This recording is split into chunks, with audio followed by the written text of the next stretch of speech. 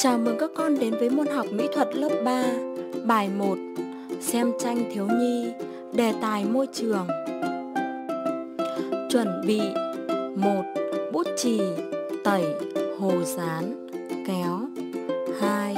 Màu vẽ, giấy màu, đất nặn, giấy vẽ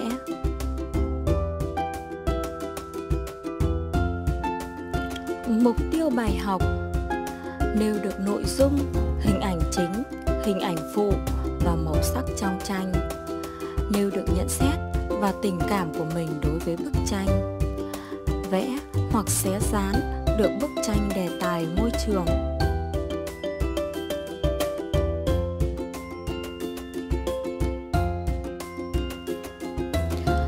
Con hãy quan sát một số bức tranh của các bạn thiếu nhi và trả lời câu hỏi sau.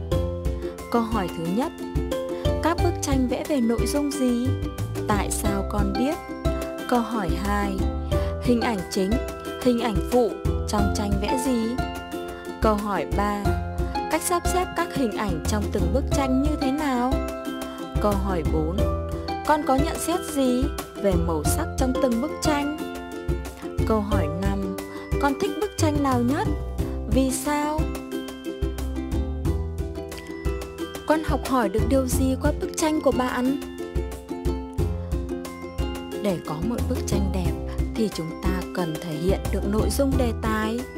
Có hình ảnh chính, hình ảnh phụ, sự sắp xếp các hình ảnh hợp lý, màu sắc kết hợp hài hòa và thể hiện được cảm xúc của mình trong bức tranh. Qua bài học ngày hôm nay, con cần làm gì để bảo vệ môi trường? Nhất, chúng mình phải vứt rác đúng nơi quy định, hạn chế sử dụng túi ni lông, ở nhà nên phân loại rác.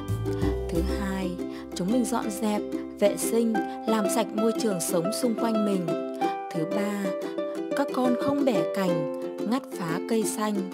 Thứ tư, các con cần chăm chỉ trồng và chăm sóc cây xanh. Cuối cùng, Chúng mình hãy vẽ một bức tranh chủ đề môi trường mà chúng mình thích. Bài học hôm nay đã kết thúc rồi. Các con cùng nghe dặn dò. Bài sau, bài 2, vẽ tiếp họa tiết và vẽ màu vào đường diềm, một tiết. Chuẩn bị giấy vẽ, màu vẽ, giấy màu, hồ dán, kéo cho bài học sau.